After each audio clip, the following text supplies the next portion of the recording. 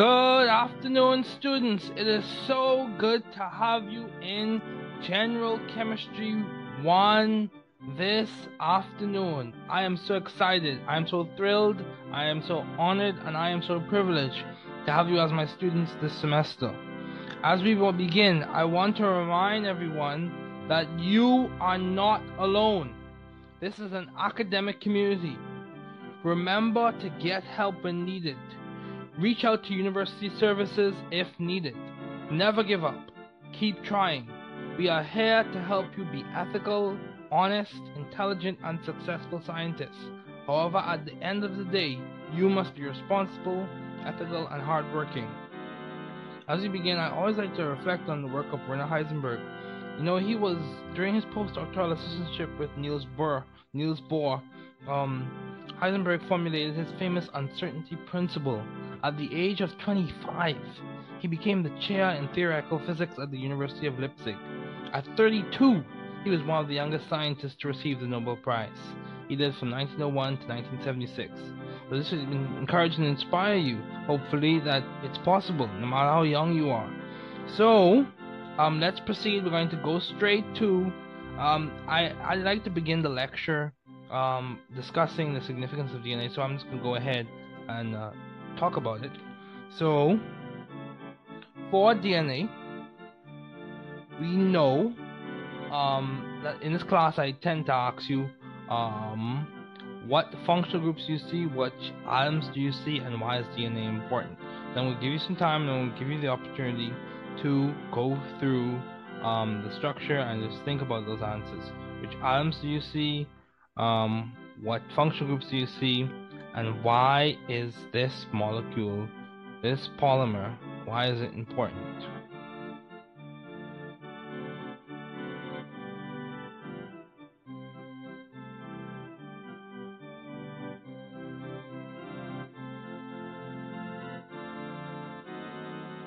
Okay, so let's begin. So right now we see that we have nitrogen. We see that we have nitrogen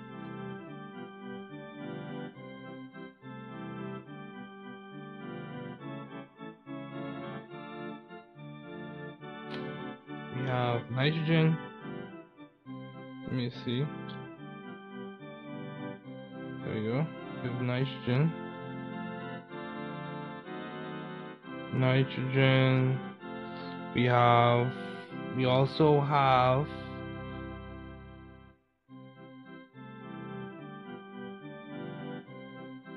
Wait a second, having a few technical difficulties. So let me see if I can adjust something quickly before I continue with the lecture for today.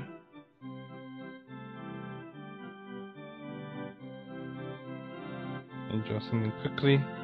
Something quickly. Okay, let's proceed. So we have nitrogen. We have phosphorus. Nitrogen. We have phosphorus. We also have um, hydrogen.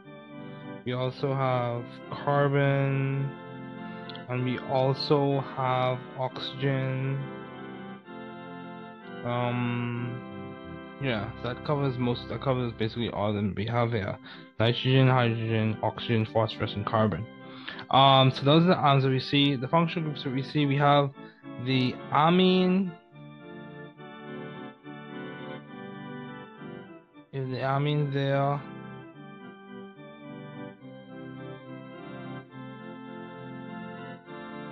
I mean there.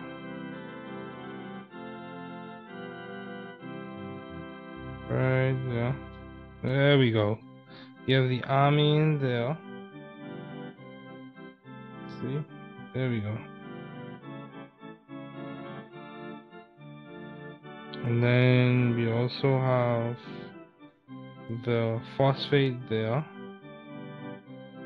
And then we have other functional groups, so I'm not going into all that. We have hydroxyls there. Um, and that's as far as I want to go with you today. Um, so why is DNA important? DNA is important several for several reasons. One, plays a role in the replication of cells. It plays a role in maintenance and integrity of cellular function. Um, DNA is important because mutations in DNA can cause um, diseases, can lead to downstream effects such as diseases. DNA is very, very important. It's like the information, the set of instructions, the blueprint for a specific cell. Not every gene is expressed in every cell, and we, that's a discussion for a different day. But gene, gene expression is very dependent, heavily dependent on the genes, and genes are made up of DNA. So, um, very important biopolymer. So let me erase. Erase, and we'll proceed forward. Let's see.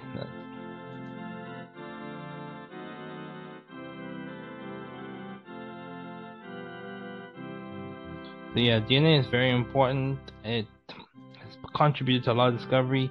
You could go into all of the discussions as to whether it's as to it being semi-conservative in terms of replication, all those things. But that's not for this class today. So let's talk about the goals and objectives of this class. I'd like to remind everyone of this because it's important for us to keep focus.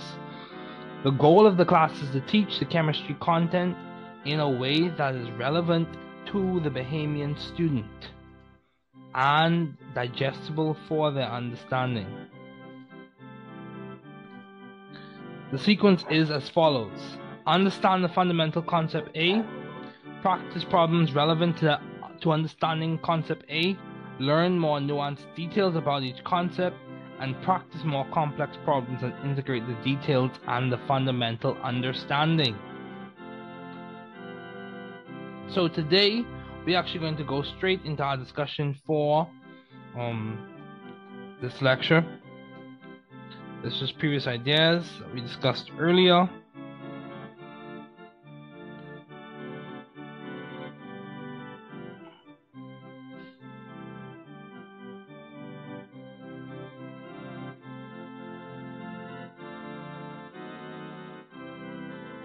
There we go. So, let's I've already gone through the discussion in which we drew resonance structures, drew different Lewis dot structures. One of the things I want to do today is I want to um, I want to emphasize some key ideas associated with resonance and resonance structures. So the resonance hybrid is a is one of the best qualitative descriptors of the molecule and it gives us an idea. It points to the fact that electrons are not in one position all the time. It gives us a better, it's a, better description, a better treatment, um, of a better quant. It leans closer and closer to a quantum mechanical treatment of uh, molecular structure. It gives us an idea. It points to the fact that electrons are delocalized. It's a good structure. Um, not perfect, but it's a good description.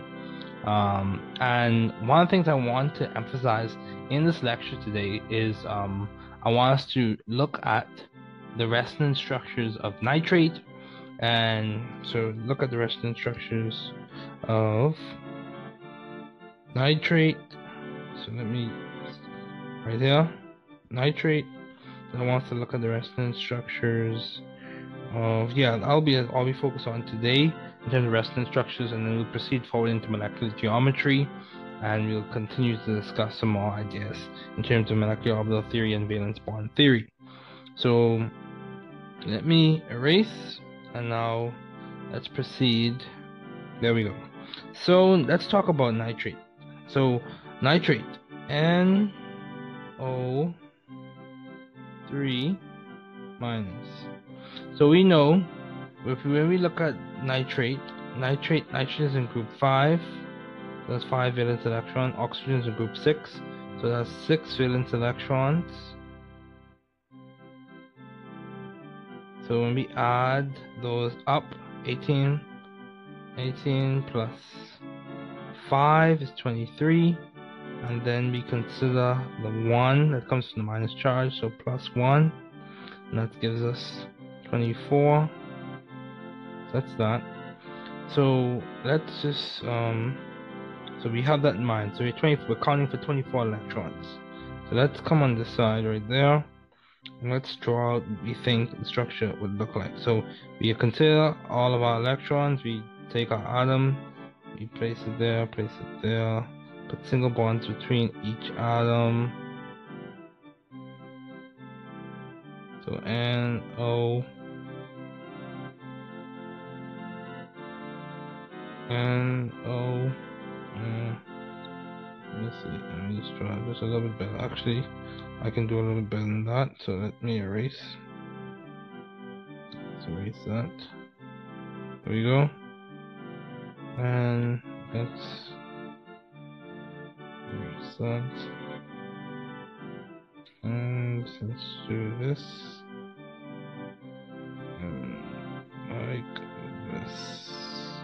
Go.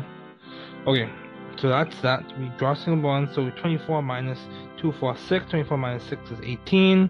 So we put uh, 1, 2, 3, 4, 5. 2, 3, 4, 5. 2. And then. Okay. So 6 dots around anything, and that accounts for all the things.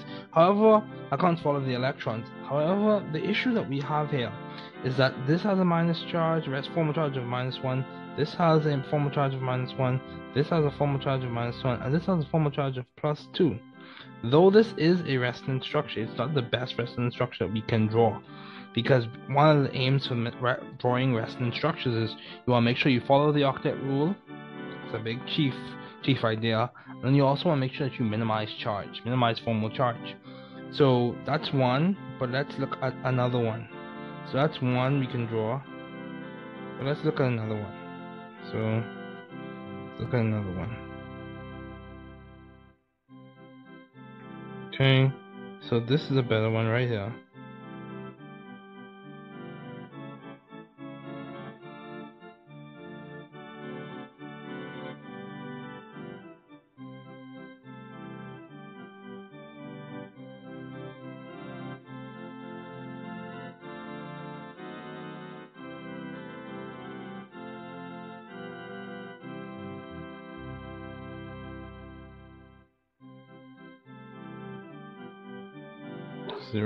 This is a good one right here.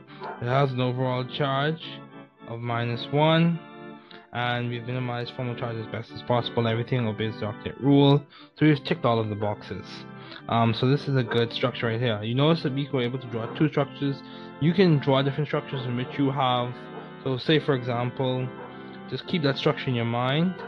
We can draw a structure where we have um, the double bond here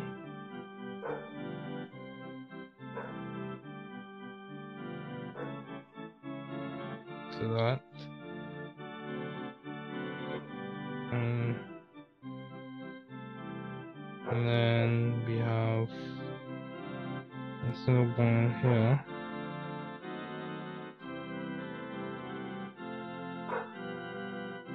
And we have same nitrogen cells, the same formal charge, with the double bonds change position. So as you can see, that's resonance structure, that's resonance structure, this is resonance structure. Um, there's several you can draw. However, um, the best structure is one that minimizes formal charge and obeys the octet rule.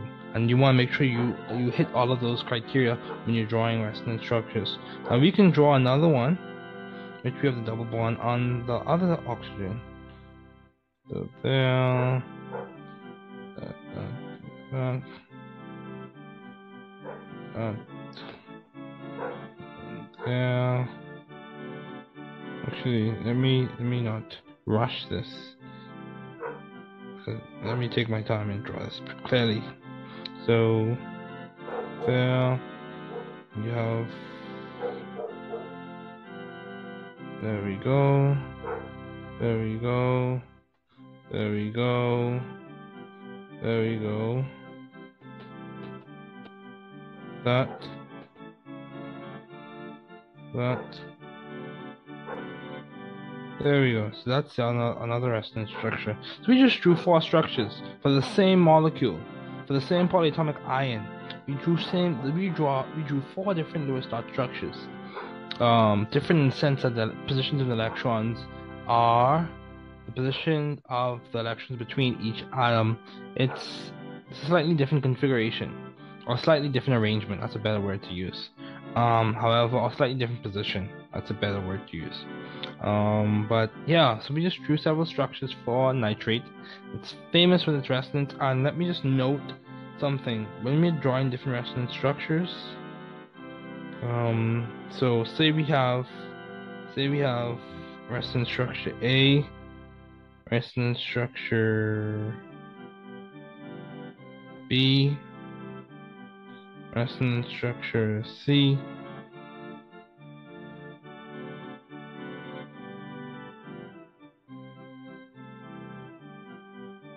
There we go. So that's how you know that you're drawing resonance structures, as opposed to so the arrows. These are the arrows resonance, and these are the arrows for equilibrium. I'm just knowing this because it's important to know the difference. So this is resonance. These are resonance arrows. When we drawing resonance structures, these are the arrows we use when we're talking about equilibrium. So it's important to just note that difference.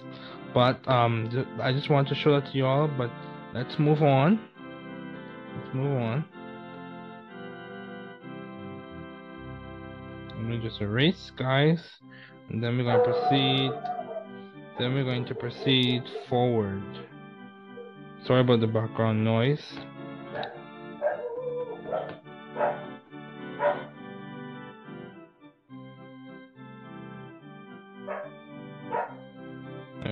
just erase.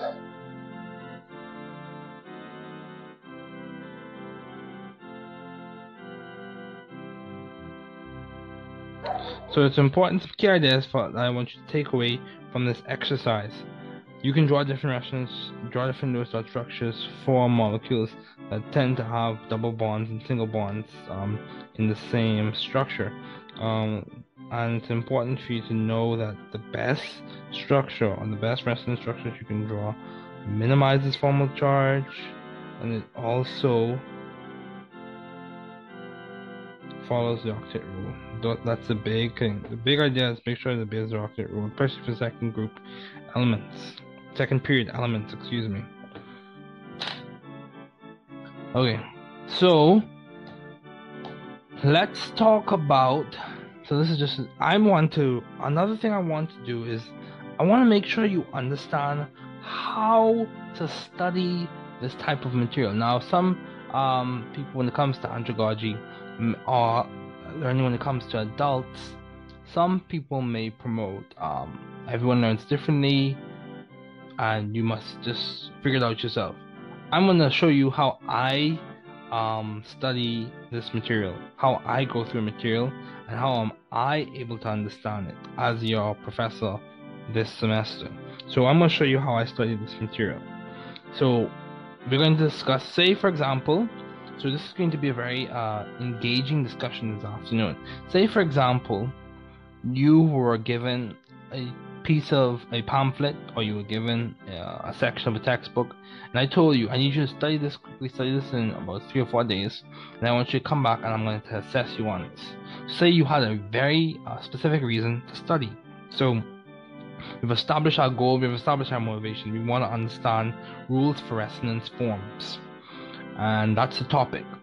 And it has objectives so we know what should be our um, what should we achieve, what should we aim for, what should we strive for as we are studying this material. We want to keep these things looming in our mind as to as to am I doing something that complements to me achieving these objectives.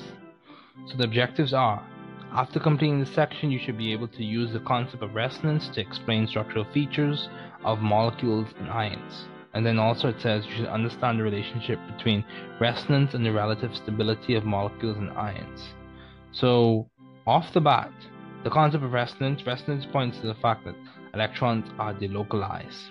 And it points to the fact that Lewis dot structures don't give us the best description, qualitative description as to the arrangement of electrons in a molecule or ion. So that's that's kind of like an overarching, uh, a general idea or a general answer to that first objective. And then the second objective says understand the relationship between resonance and relative stability. So what is that saying? We understand that the localization contributes to stability. The localization of the electron cloud around the entire molecule contributes to stability, or gives us an idea of stability.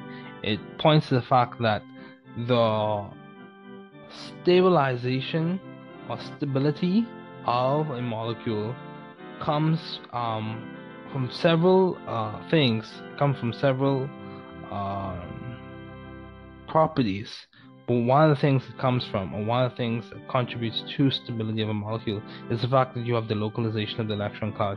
And what is that based in? Is based in Coulomb's law, Coulomb's law, in which you have a positive charge interacting, positive charge of the nucleus of the different atoms interacting with the electron cloud. And the more it interacts, the more interactions you have, the lower the potential energy, the more stable the molecule. Systems tend to lower potential energy and that contributes. Or that is another way to say is tend to more stable configurations more stable arrangements of the electron cloud. So that's kind of like the overarching solutions overarching answers to those objectives. But i'm going to show you how i study my material so let's begin so let's go through so the method i want to introduce to you today uh, if I can just there we go. The method I want to introduce today is this this method that they call survey, question, read, review, and recite. So let's talk about it. So I do this implicitly. Um, material, the first thing we're going to do is we're going to survey the material. S. We're going to think of the questions in terms of the objectives that we need to achieve when we read this material. So the questions we're going to have in mind are going to be centered around, are targeted at the objectives.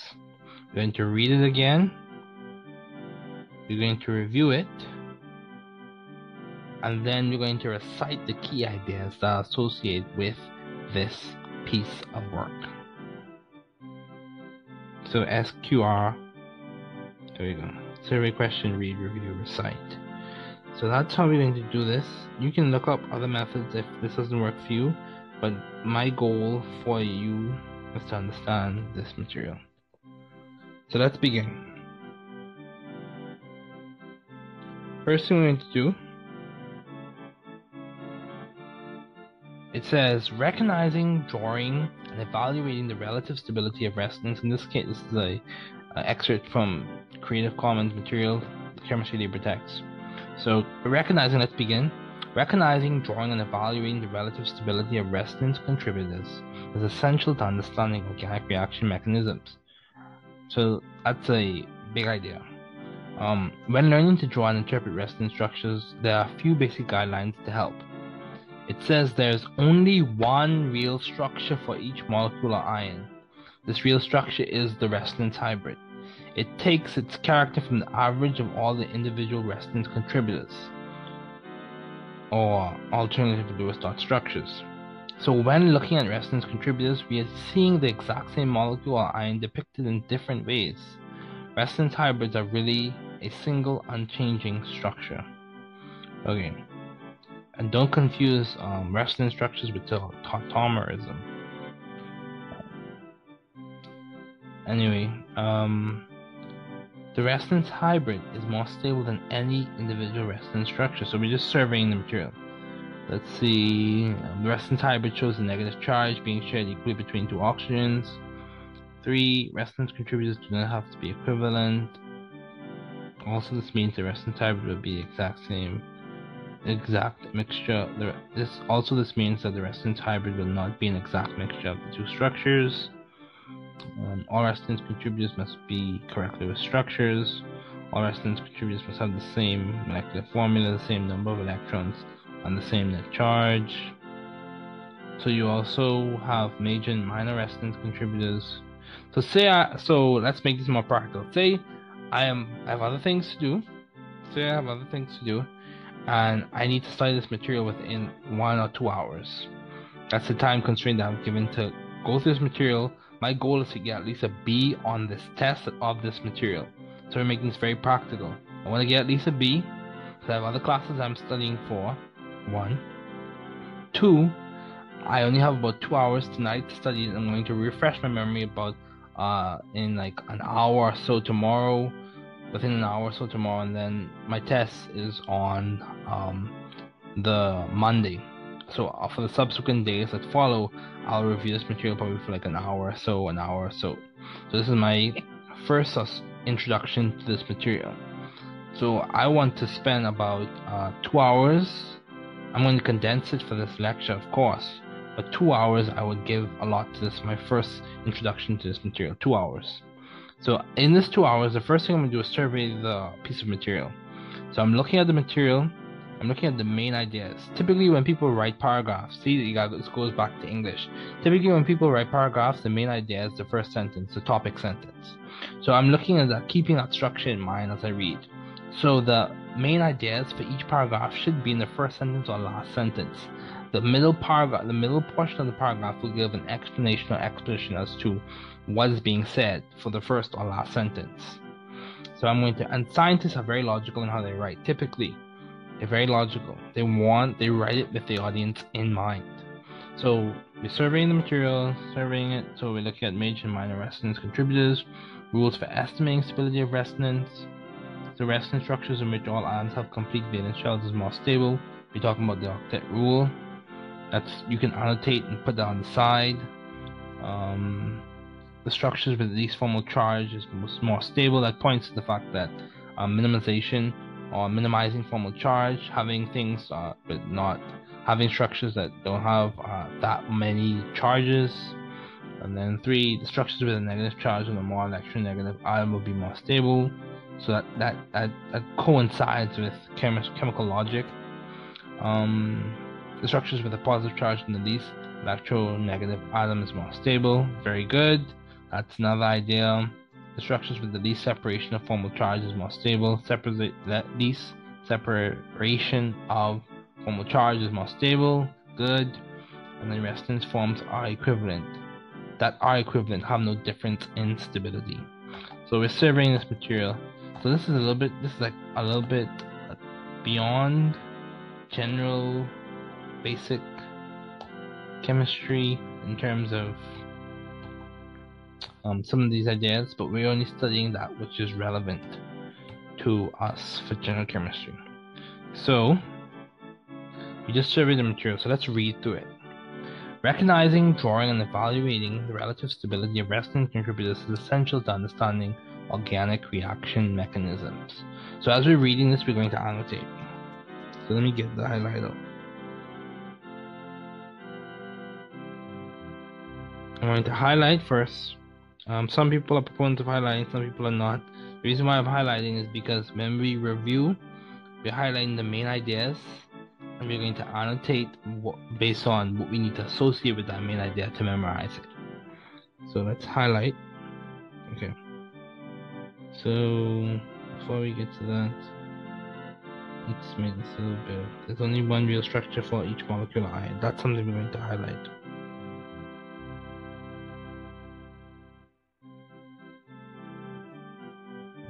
Bam. Only one real structure. And what's the structure called? That is the resonance hybrid. So remember our objective is to understand the concept of resonance, to explain structural features of molecules and ions. That's the first goal we need to achieve. That's the first objective we need to fulfill. So resonance hybrid. Resonance hybrid. So that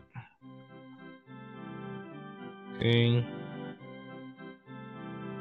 From the average of all individual resonance contributors. So that look at that.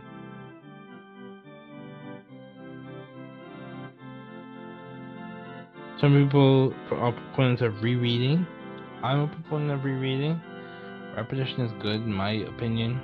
Some people believe you should just read through material, come up with yourself questions, form a guided inquiry, um, and then practice going over those questions and over and over and over and over again, and do it with spaced repetition and all those other good stuff.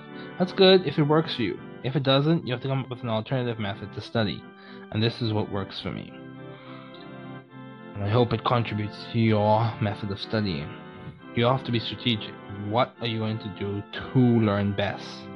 Um, in the material as best as possible given your time constraints and resource constraints.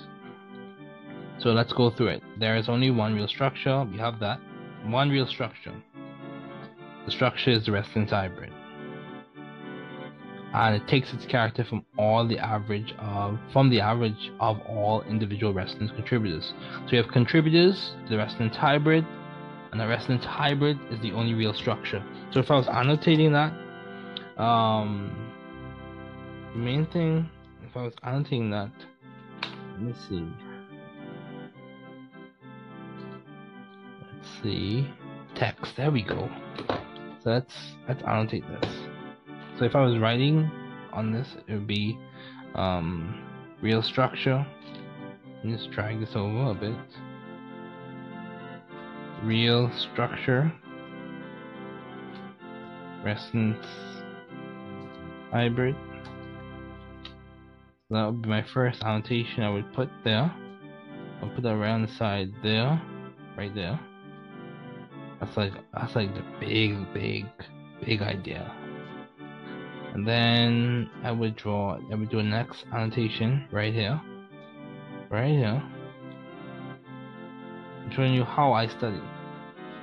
Okay, so that's the first annotation. And then this hybrid is based on contributors. Those contributors contributors both of the hybrid space of contributors. Contributors are L Lewis dot structures. Actually, let's just say Lewis dot structures. Lewis dot structures. There we go. So that's that. And I'm going to take that and do this. Let's just make this just a tad bit smaller. There we go.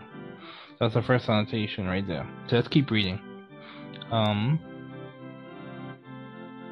So. Says the resonance hybrid is more stable than any individual resonance structures. So let's see. Resonance hybrid is more stable than any individual resonance structures. So that's the first, that's another idea. Resonance hybrid is more stable than any individual resonance structures. That's our second main idea. So what am I going to do? I'm highlighting, see I'm engaging, I'm actively reading the material.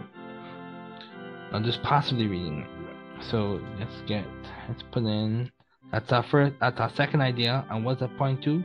Delocalization. So we want to put it in right there. Why is it more stable? The first thing I associate with that stability, delocalization. And I'm going to, let me see if I can decrease the font size.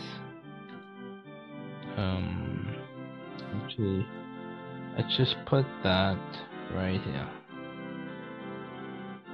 Delocalization, because that's a, that's a big idea. So when I come back to this material on the second or third or fourth day, I have a mind map. I have a way, I have a place for this material that I've associated with a framework that I already have in my mind from previous ideas, previous discussions, previous concepts. Delocalization and Coulomb's law. Coulomb's Coulomb's law.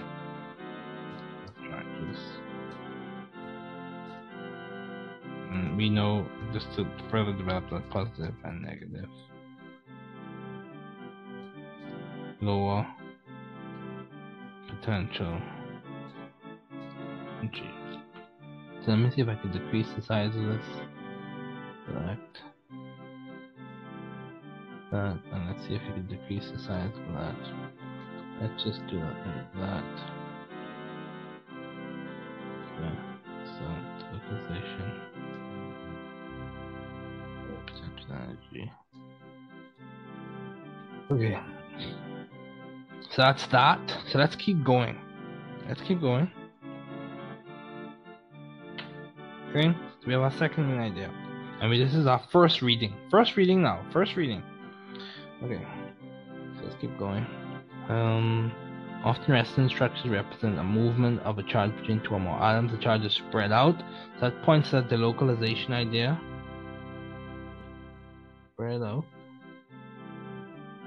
Spread amongst these atoms and therefore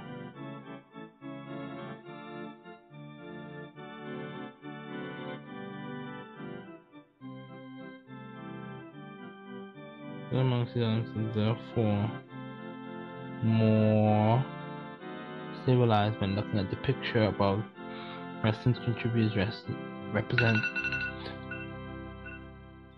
resonance contributors represent the negative charges as being on one oxygen or the other. See, we're, we're further explaining that main idea of it being delocalized, of it being more stable than any individual resonance structure. We're further developing that main idea from the first sentence.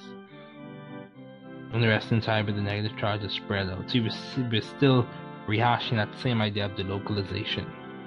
Let's go to the third point. Resonance contributors do not have to be equivalent.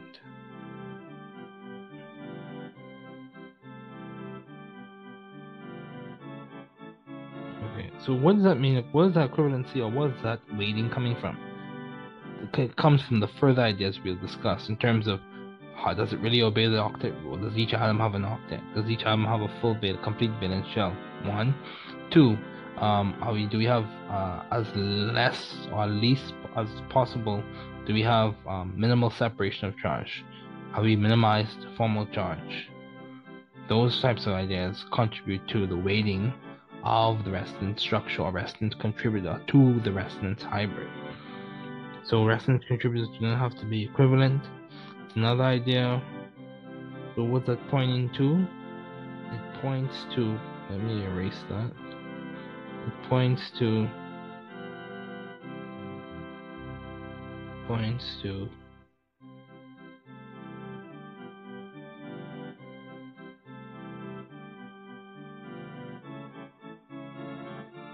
So it's pointing to the rules that we'll discuss further on. So just keep that main idea in mind. So you have to you have to come up with a framework. You have to come up with a structure that works for you. If you find that your your, your study material is not as engaging, try to make it or try to find engaging material. There's a lot of free material out there if you have access to the internet.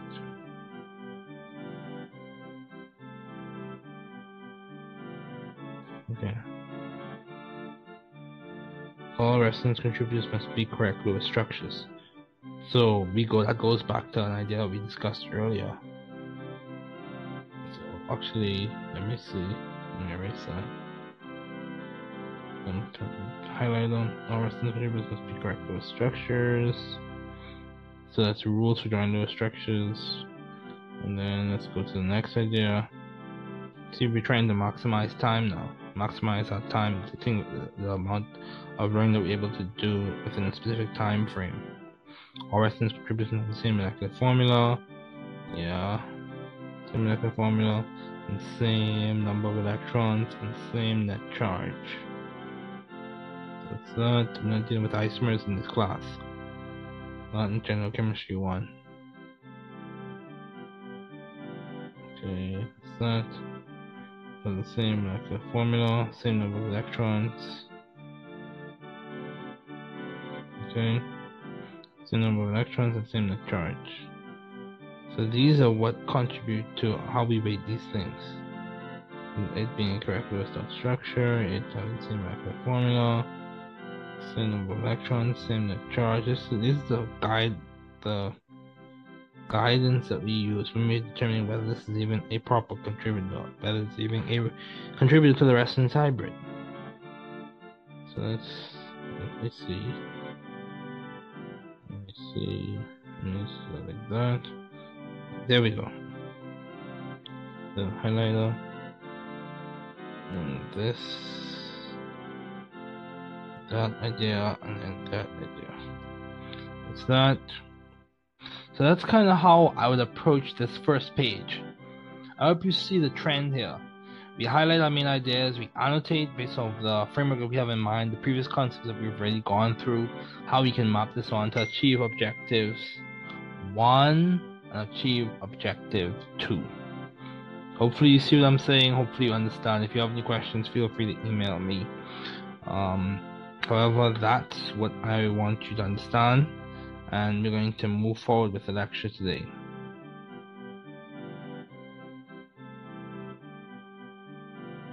Okay.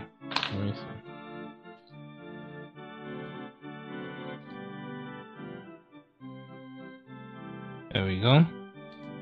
Let's move forward. Um, least formal charge, we do the same thing again, just use the associative framework that we have in our mind.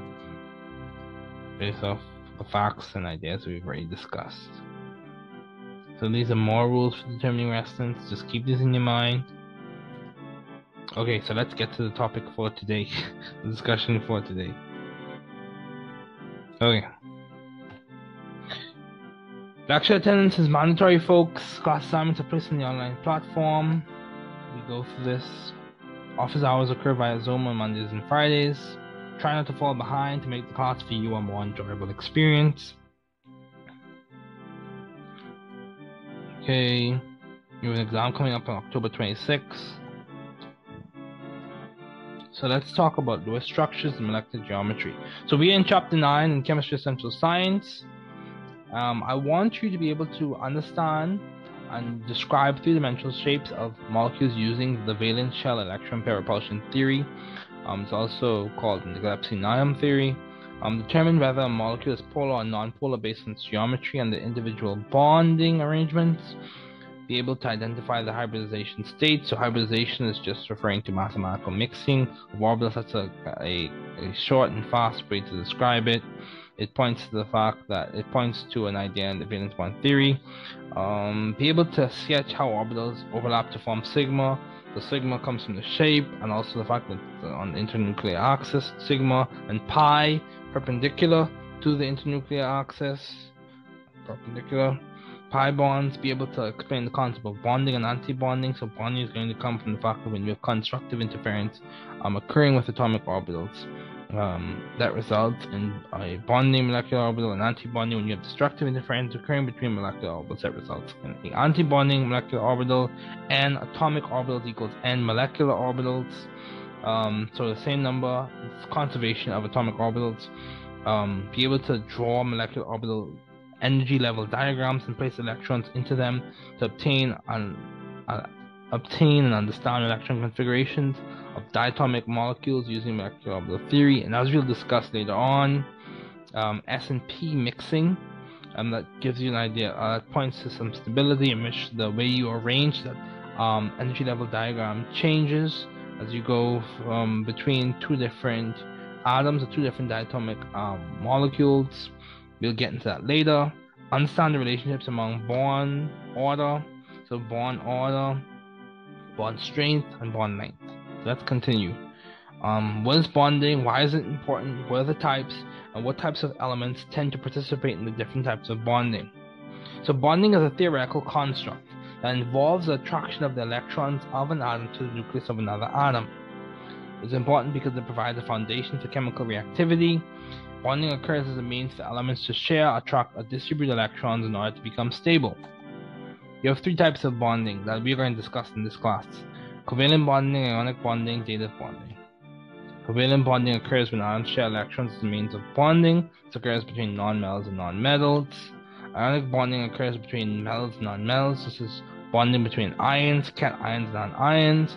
The bond cycle gives us a, a way or a, a method or a description as to how that structure is formed, how the ionic compound is formed. We discussed that in previous lectures. Dative bonding occurs when one element donates the entire bonding pair of electrons to form a coordinate covalent compound. Typically occurs between metals and ligands. So let's get to the material we want to discuss for today.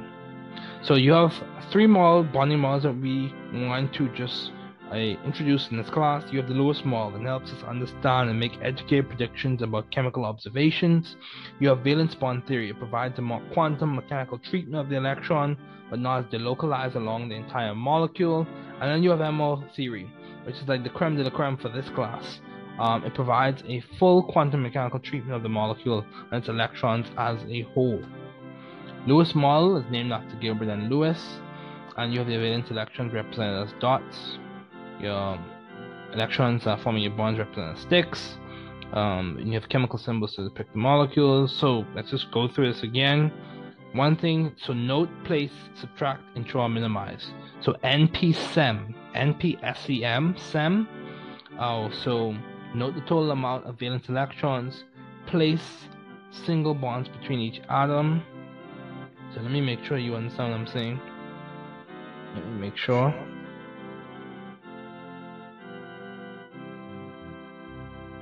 N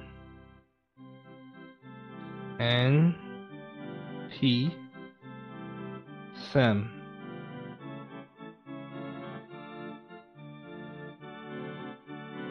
NP SEM so note, place, subtract, ensure, minimize.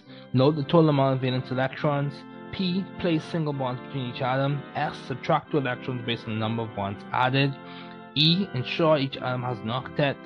Exceptions are with atoms with expanded octets occurring in the third period, and also exceptions occur with your incomplete octets, for example, with boron and beryllium. Um, then you minimize charges. That's these are the ways you draw really good Lewis dot structures, really good contributors to the resonance hybrid. So let's keep going.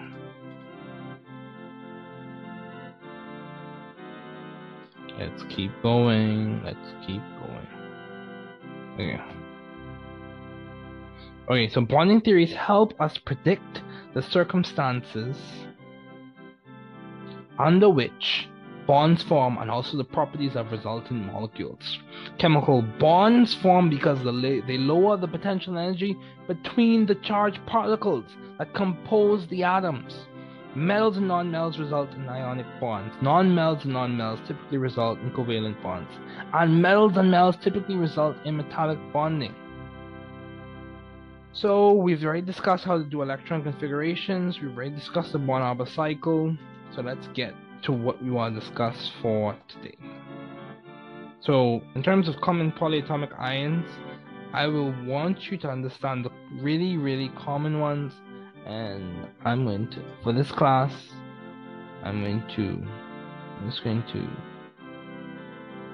let me, so for example, I want you to know your perchlorate, I want you to know permanganate, there's a minus charge, uh, I want you to know sulfite, let me just a little bit better. Okay, so I want you to know. Here we go. I want you to know chlorate. I want you to know perchlorate. I want you to know permanganate. I want you to know sulfite. I want you to know sulfate. I want you to know cyanide. I want you to know ammonium. I want you to know phosphate. I want you to know nitrate, hydroxide. That's the thing we talk about a good bit um, carbonate, bicarb, mm, and that's as much as I want you to know. So, mirror, erase. Here we go. There we go. Let's keep going. Okay, let's go. We already discussed resonance. So let's talk about VSEPR. So VSEPR. VSEPR, valence shell electron pair repulsion theory. Big ideas. You minimize repulsions between electron groups and you maximize distances and you want to maximize the bonding interaction. So let's keep let's keep those big big ideas in mind. Minimize repulsions between electron groups, maximize bonding interactions, maximize distance between those things. And you want to keep those things in mind. So linear. Beryllium chloride. So say for example we have this. This is a classic example of a linear molecule. I'm using a model kit. If you don't or if you can't afford a modeling kit, you can use gumdrops. You can use styrofoam. You can use anything that or gumdrops and toothpicks. You can do a lot of things with gumdrops and toothpicks. Um, and you can use toothpicks to, as the bonds and gumdrops as the different atoms but I'm using a modeling kit for this video, this lecture video this afternoon. So this is beryllium chloride. This is a linear molecule. We can also use this um, a shape to describe carbon dioxide. However, in carbon dioxide you have double bonds. Okay, so trigonal planar, beryllium, I mean boron trifluoride. Trigonal planar, trigonal, it's in one plane. One plane. Trigonal, planar. Or a better way to draw that, but that's not a better way to do that. Trigonal planar. There we go. Trigonal planar. Trigonal, one plane, trigonal planar. Okay, so let's talk about methane. Methane, tetrahedral, tetrahedral, tetrahedral, tetrahedral. See? Tetrahedral. Four faces. Tetrahedral. Tetrahedral.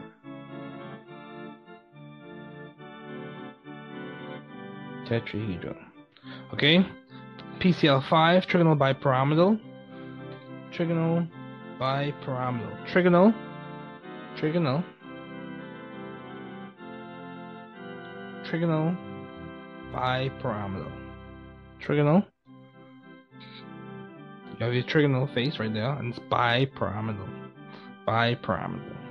Okay? Then you have your octahedral, octahedral shape.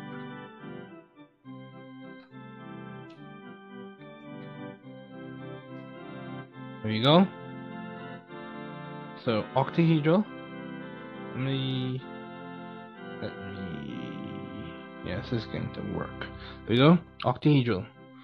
Octahedral. Octahedral. I just want you to see the shape of them. Octahedral. See we have six electron groups. One, two, three, four, five, six. Someone pointed out in class that the vertices. So a way an analogous way to think about this the vertices in the shape in some way do correspond to the electron groups. So if you keep in mind that if I'm talking about electron groups, and also one thing to always specify when you're talking about molecular shape, do you want the molecular geometry or do you want the electron geometry? Because they can be different at times. Because I can have uh, three electron groups, but one of those groups can be a lone pair. And if that is a lone pair, it may not be. So I may have three electron groups if one is a lone pair, instead of it being linear, it will be bent. And we'll get to that later on. Um, so, octahedral, for example, sulfur hexafluoride. So, all molecules have particular shape. The shapes are determined by looking at the arrangement of electron bonding and non bonding pairs. Correct Lewis dot structures provide the ability to predict common molecular shapes. We are able to determine molecular shape by looking at the angles and distances between the nuclei and the electrons. Remember, single bonds are sigma bonds, double bonds are sigma and pi, triple bonds and sigma are sigma and 2 pi. So that's kind of pointing to MO theory uh, concepts, MO theory ideas, but I just want to expose you to it now. So this is a link you can use to look at simulations from Oxford University. So questions to consider when assigning molecular shape. Let's just go through these questions. So for the, for those who do inquiry as they read, do we have the correct Lewis dot structure? How many bonds do we have? What type of bonds are they? And remember, single bond, double bond, triple bond, lone pair, all of those fall under the umbrella. They fall under the umbrella of an electron group. Single bond, double bond, triple bond, lone pair or non-bonding pair. In this context, there those terms can be interchangeable. Non-bonding pair, lone pair, fall under the umbrella of electron group. So how many electron pairs are non-bonding pairs? Where are the non-bonding pairs? Let me show you. We keep on talking about these non-bonding pairs. Let me show you. So say for example, we had some molecule. Then we had water. This is this is that has two lone pairs.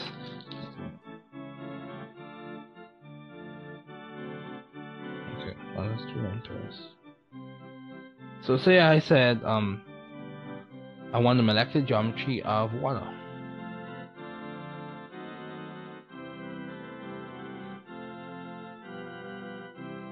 Let me go. Let me show you a classic example of this. So I said I want the um I want the molecular geometry of water. So look right there. Let me let me narrow this into you. So this is an example of me building it. It's going to be V-shaped or bent. However, so this is this is a molecular geometry, the geometric shape. However, the number of uh, electron groups that we have is four. You have four electron groups in this thing. So it's important for you to specify, do you want the electron geometry? Do you want the molecular geometry? Typically people want the molecular geometry, they want the molecular shape. So this is what we're referring to here. It's it's bent. But it has four electron groups. So just keep that in mind. Let that question loom in your mind. So more questions to consider. Where are the non-bonding pairs? Because if they're not if they're not on the central atom or the atom that really determines the shape of the molecule, um, it's not going to be heavily considered, um, at least for the particular question you're looking at. Um, are there deviations from this ideal description? So valence electron pair repulsion theory allows us to understand molecular geometry. In VSEPR, that's a, that's a short way to say it, VSEPR, we arrange electron pairs to minimize electron pair repulsions and maximize distance and bonding interactions. So this is what I'm showing you here. So say we have four electron groups, but two are lone pairs, two are atoms, three, two are single bonds, excuse me, two are lone pairs, two are single bonds. This is an example of water. Or um, sulfur dichloride. Against that. So let's look at another one. Another one, say for example, we had, um, so this is an example of an octahedral one in which we have uh, six electron groups and six are single bonds. However, say we had two of those electron groups as lone pairs. One, two. So we would have something that's square planar. Let me just show you. The power of being able to build it yourself. You know, learn by doing. This is for those who are prone to that. Learn by doing. So see? Square planar. Square planar. It's in one plane. See? It's in one plane. One plane. Square planar. Square planar. However, it has six electron groups. The power of building it yourself. When you build it yourself, it makes a bit more sense. You're able to flesh out the concepts more. So that's what we're pointing to in this lecture today. Um, so we can have six electron groups and they can be T-shaped. So, so that means you have three lone pairs. Three non-bonding pairs. I'm going to use the same color for these so that we know what we're referring to in this. That you can have different colors for your lone pairs. Not in actuality, I'm talking about for the modeling kit. So say we have three, three non-bonding pairs, and it's T-shaped. But we have six electron groups. So, another way for us to phrase this, find the number of electrons the central atom, the central atom, normally has in its valence shell. Add one electron for every atom that the central atom is bonding to. This is just one way to go through it. You can um, remember the main idea I want you to take away from this is arrange electron pairs in the correct shape.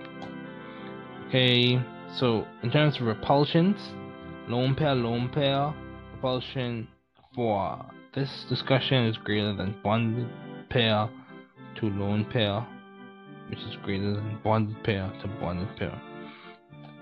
The main idea I want you to take away from this discussion is use the proper rules, use the correct rules to draw your Lewis dot structures. And when you do that properly, when you write good Lewis dot structures, it can help you make or write and understand good resonance contributors. And from those good resonance contributors, you can determine the resonance hybrid. That's one thing you can do with a good Lewis, a good set of Lewis dot structures. Two, when you draw the correct Lewis dot structures, you can apply that Lewis dot structure, use that Lewis dot structure to understand the molecular shape, or predict to a certain extent molecular shape.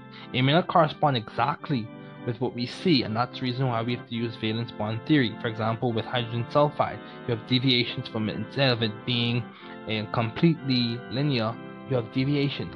So hydrogen sulfide, or instead of it being tetrahedral, whatever the case may be, you have deviations. Um, whatever geometry you're referring to in this case, molecular shape or electron geometry or molecular geometry, you have deviations. But when you draw correct Lewis dot structures, you are able to understand molecular shape, you are able to um, determine good resonance contributors and look to see or approximate to what the resonance hybrid would be. It's very a very useful tool, and also in organic chemistry, we know that when we draw good Lewis dot structures, we can kind of kind of give a description as to what's occurring, the mechanism, as to how the reaction is occurring. So Lewis dot structures are very useful. Okay.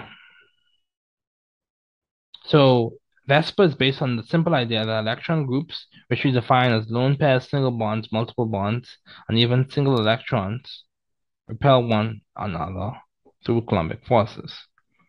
So you want to make sure you're looking at the central atom. So valence bond theory. So this is so say for example, remember we talk about this conceptual baton passing, in which we had um uh we had Max Planck passing it on to Albert Einstein. Actually, excuse me, we had um Niels Bohr. We had Max Planck passing it on to Albert Einstein. And then you had Einstein passing on to Niels Bohr, and then we had Niels Bohr passing on to Werner Heisenberg. So what I'm saying is typically a way, a way for you to process the concepts. So same way we did that for this thing, we could go from Lewis dot G.N. Lewis Lewis dot structure, say if Lewis dot structure was the concept, the main idea, the person with the baton, passing it on to valence bond theory, and then valence bond theory passing it on to molecular orbital theory. This is a way to process the concepts so that you can build on it if this works for you. Okay, valence bond theory is a more advanced theory which is an application of a general quantum mechanical approximation method called perturbation theory. We're not going deep into that. This is not quantum mechanics class. Just want to expose you to it. So in many cases, these orbitals are just SPD and F. In other situations, the orbitals are hybridized. VBT, valence bond theory, we calculate the effect of these interactions on the energies in the atomic orbitals. So when we apply valence bond theory to a number of atoms and their corresponding molecules, we arrive at the following general observation. The interaction energy is usually stabilizing or negative when the interacting atomic orbitals contain a total of two electrons that can spin pair with opposing spins. So a chemical bond is a result of the overlap of two half-filled orbitals with spin pairing of the two valence electrons. And then also the geometry of the overlapping orbitals determine the shape of the molecule. So VSEPR predicts that dihydrogen sulfide, this is what I was pointing to earlier, has a bond angle of 109.5. But VBT excuse that it should be 92 degrees, not 92 degrees Celsius. Predictions coincide better with experimental results of a bond angle of 92. Okay, so that that comes from the fact that VSEPR gives us an idea, VBT gives us a better gives us a better idea. A further or more complete explanation. That's a better way to put it. So VBT accounts for the bonding of methane and other polyatomic molecules by incorporating an additional concept called orbital hybridization. So hybridization, the mathematical mixing of atomic orbitals to form hybrid orbitals. This is where you get these ideas of SPDF or SP2, SP, SP3D, SP3D2. Um, that's referring to the mixing. So it's a mathematical procedure in which standard atomic orbitals are combined to form new hybrid orbitals that correspond more closely to the actual distribution of electrons in the chemically bonded atoms. A chemical bond is the overlap of two orbitals that contain two electrons. The greater the overlap, the stronger the bond and the lower the energy. In hybrid orbitals, the electron probability density is more concentrated in a single directional lobe, allowing greater overlap with orbitals of other atoms. So we're going to just keep on going. Hybrid orbitals minimize the energy of the molecule by maximizing the overlap in a bond. So this is this is like hinting to or based in the Coulomb's law, ideas from Coulomb's law. So let's talk about MO theory. So this is just an overview. This is just introduction so this lecture is like the introduction to these ideas, and you have to go and do your readings, go and practice the homework. So there's that you play a part, I play a part in this learning process. I help to facilitate you. I help to facilitate. We break up the ground. We help with conceptual idea, ideas forming, helping you see where you can put in your associative framework for learning and pedagogical ideas. I mean, andragogical ideas, and then you are able to apply the concepts. You are able to associate it with something you know, and you're able to learn it and flesh this out and make this more real to you. Develop your scientific intuition, all those things. Um, use these as ideas you can apply in your classroom, apply in other research settings, all of that. So MO theory, this is just an orbital diagram. We have a sigma, sigma star, sigma referring to a bonding orbital, um, sigma referring to a bonding orbital, sigma star referring to antibonding, sigma, and you have a pi, pi star, sigma star. In MOT, we do not actually solve Schrodinger's equation or molecule directly. Instead, we use a trial function, an educated guess. The trial function we use in this case would be LCAOs, linear combination of atomic orbitals.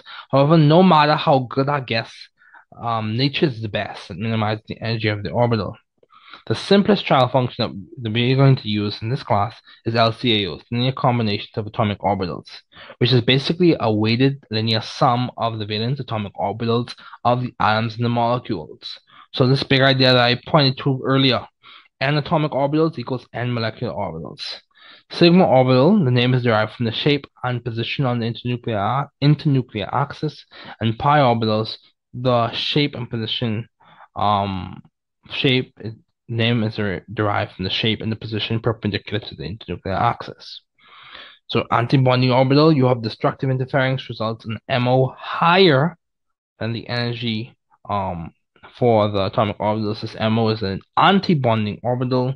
Bonding orbitals derived from the constructive interference that occurs with um, that results in a MO lower in energy than the atomic orbital. This is your bonding and then the bonding MO. So bond order is 0.5 in brackets. You look at the electrons in your bonding molecular orbitals minus the electrons in antibonding molecular orbitals, and you multiply that whole difference by 0.5. So this is what I was pointing to earlier. I want you to take note of this. Take note of this. You see, as you go from di um, nitrogen, diatomic nitrogen to diatomic oxygen, you have a switching. You have a switching of the order. So you go from pi 2p to sigma 2p, and then for oxygen, diatomic oxygen, you go from sigma 2p to pi 2p. So where's that come from? We're not going into a deep quantum mechanical explanation for that. This is a general chemistry class. What we're going to do is get the main idea, get the short, the short summary, condensed um, answer for that um, question. Why does the order change? The bottom line is that S&P mixing is significant in diatomic boron, carbon, and nitrogen, but not in diatomic oxygen, fluorine, and neon. That's the surface level. That's just what we're going to talk about for that. So MO theory, let's continue. MO theory helps us understand diamagnetism, in which you have uh, you which you have paired electrons or paramagnetism in which you have unpaired electrons. And you can see an example of this with supercooled oxygen um, being held up between two magnets. So our references, those are references, and that's where we're going to end off our discussion today. Once again, it was so good to have you in lecture today. So good to see you. So good to know that you're in my class. Excited to have you in my class. I want everyone to know that you're not alone. Keep up the work that you're doing. Keep pushing, keep going. We're cheering you on.